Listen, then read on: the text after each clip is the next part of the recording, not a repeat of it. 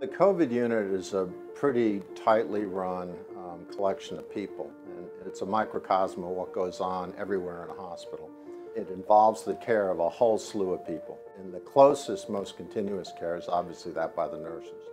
And far and away, they have it the toughest. You know, standing in hot PPE for 10 to 12 hours a day is draining, and the chronicity of the disease in some people can be exhausting.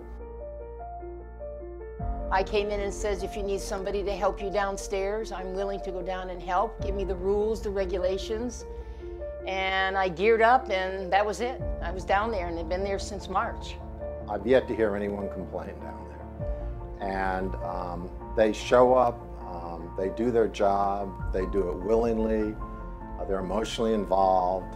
And I probably don't think there's a better example of the whole crew of people at Halifax as exists in the biocontainment unit. The, the people involved there are extremely dedicated and want to be there and want to do this. And I think they feel this is a kind of a higher calling for them. We're here to help, not just do a job, but here to help patients, get through what they have to get through so they can feel better, and Halifax Health has helped us in doing that in a lot of ways. I've been nursing for many years, but I'm going to let you know that this virus doesn't pick and choose.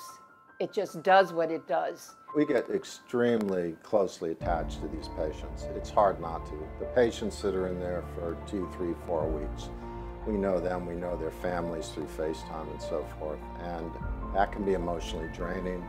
But there are plenty of success stories down there. There's plenty of people that walk out on some home oxygen.